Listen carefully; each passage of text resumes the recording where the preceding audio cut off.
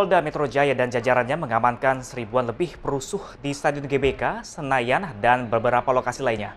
Para perusuh tersebut rata-rata masih berumur 12 tahun atau biasa disebut dengan ABG.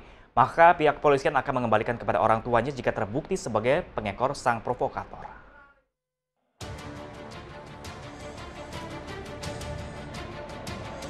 Laga final Piala Presiden antara Persib dan Sriwijaya FC telah tuntas. Persib menjadi juara dan berhak membawa pulang hadiah dan Piala Presiden. Namun dari perhelatan besar ini ada peristiwa yang menyedihkan. Anak baru gede atau ABG banyak yang berulah di laga final Presiden ini. Mereka memprovokasi dan melakukan kekerasan dengan menyerang bus atau rombongan supporter lain. Ada 1.200 remaja pun mesti bermalam di kantor polisi.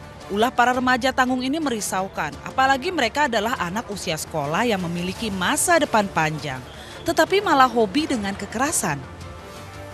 Hukum di Indonesia, anak usia di bawah 12 tahun tidak bisa diproses hukum, maka diutamakan jalur mediasi. Namun penekanannya bahwa tindakan anarkis tidak dibenarkan.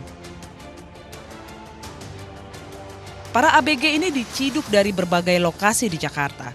Mereka melakukan tindakan kekerasan seperti memprovokasi, juga melempar batu ke sejumlah kendaraan. Tapi sebagian besar hanya ikut-ikutan saja. Orang tua tidak bisa lepas tanggung jawab membimbing aktivitas anaknya. Orang tua harus melakukan pengawasan dan mencegah melalui kontrol sosial.